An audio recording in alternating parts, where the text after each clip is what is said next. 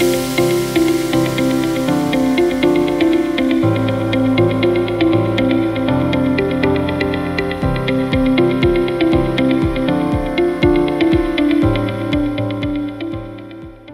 is high time that parents of children with autism don't try to make their children change to the general environment.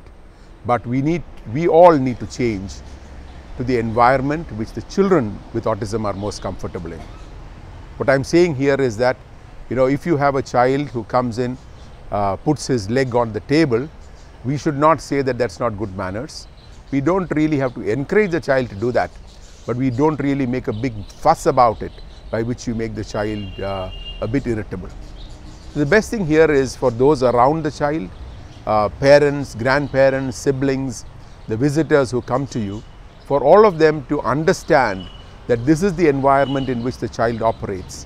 And therefore, if we have to be comfortable with the child, we need to adjust to that environment, which is much easier than trying to make the child uh, adapt to our environment. This is one important message that we all need to carry. Let me give you a small example of a grandparent. Um, the grandfather was a very senior person in government, the grandmother, a very uh, well known social figure, and uh, they had visitors who would come to their home very often.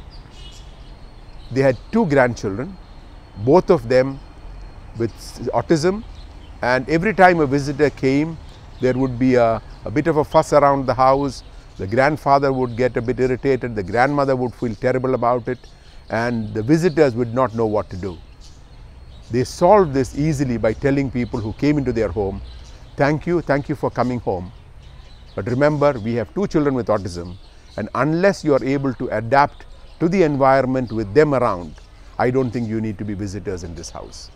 So, if there is somebody who cannot accept your children, then it is equal to their saying that they can't accept you and I don't think you need to be bothered about them.